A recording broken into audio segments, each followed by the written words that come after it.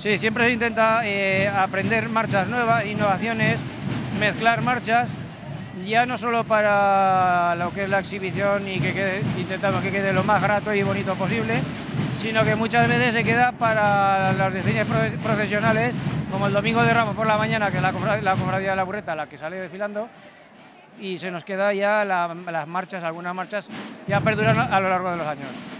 Sí, en días como este, sobre todo cuando se ve que hay tanta gente en la calle que está esperando pues eso, ver tocar y que cada cofradía lo que intenta es hacer las cosas mejor y cambiar cada año, pues la verdad es que todo el mundo está muy contento. No parece Semana Santa triste, ¿no? Es una Semana Santa de, de alegría, espero.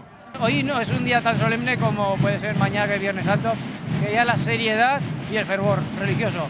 Aquí ya es la hora de de descargar toda la, ilusión que tenemos, sobre todo la gente pequeña. La gente pequeña es la que, para mí hoy es el día de la gente, de la gente pequeña que viene, porque así eh, rompen las ganas, la tensión, los nervios.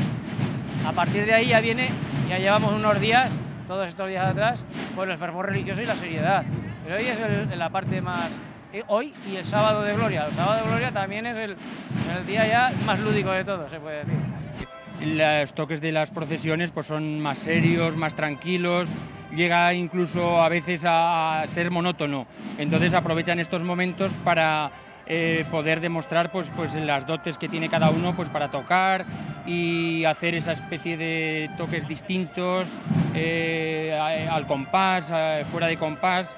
Y eso es lo que le gusta a la gente, las cosas distintas, a ver qué prepara cada cofradía cada año.